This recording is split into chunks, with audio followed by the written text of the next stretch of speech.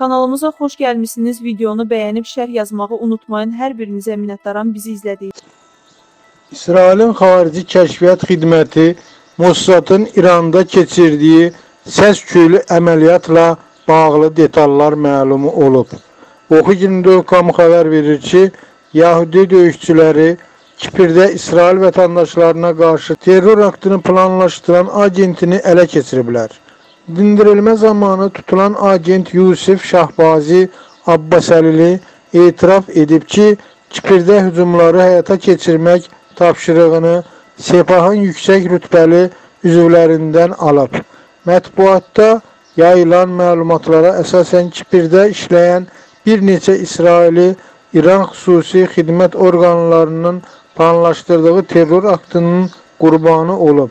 Onların arasında daşınmaz əmlakla məşğul olan iş adamı ilə yanaşı Cavab Dini Məktəbinin rahibləri də var. Lakin İsrailin xarici kəşfiyyat agentlərinin köməyi ilə sui-qəsd planının üstü açılıb və Kipr hüquq mühafizə orqanları terrorçuları saxlayıb. Mossad fars dilində Azəri ləhcəsi ilə danışan şəxsin dindirilməsinin videosunu yayıb. Həbs olanlar arasında İranlılarla yanaşı Pakistanlıların da olduğu bildirilir. Xatırladaq ki, 2021-ci ilin sentyabrında Mossad Kiprin təhlükəsizlik qüvvələri ilə birlikdə adada İsrail əsilli milyarderin və bir neçə başqa iş adamının qətlinin qarşısının Rus pasportlu etnik Azərbaycanlı Sebah agenti Orxan Əsədovu həbs edib.